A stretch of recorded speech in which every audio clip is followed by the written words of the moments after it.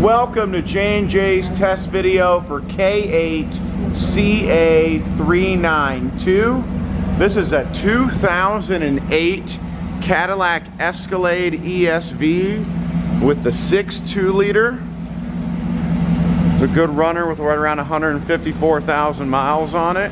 We will be selling this engine as a dropout with the harness, the ECU, all the accessories, mass airflow sensor good running motor. Truck took a hit there on the left front you saw. Has a good working right headlight. Handful of nice wheels on it. Some nice doors. A nice uh, cashmere leather interior. We're parting out the rear gate so the third brake light is available. Both the tail lights, rear wiper motor, all the chrome, rear bumper, not a bad truck. Has a light cashmere interior in it. The seats are actually in pretty nice condition, no rips or tears. Heated and cooled. Does have a decent center console also. Everything works. Not a bad truck. And there we are.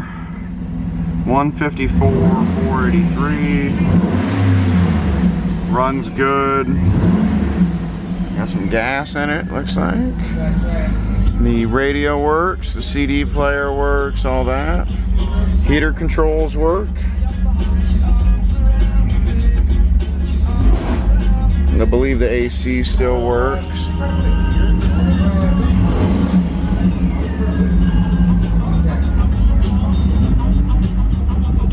Uh, I'll check the sunroof. That all works. We're unable to put it in gear because of the wheel out there missing. So, that'll do it for K8CA392, this 2008 Escalade ESV. Remember on these trucks, you have to make sure when you're ordering for your Escalade, if you have a standard length or the long one like this one is, roof racks, running boards, a lot of things are different.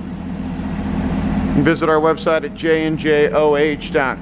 Visit our eBay store. You can also give us a call toll free at 1-800-425-1555.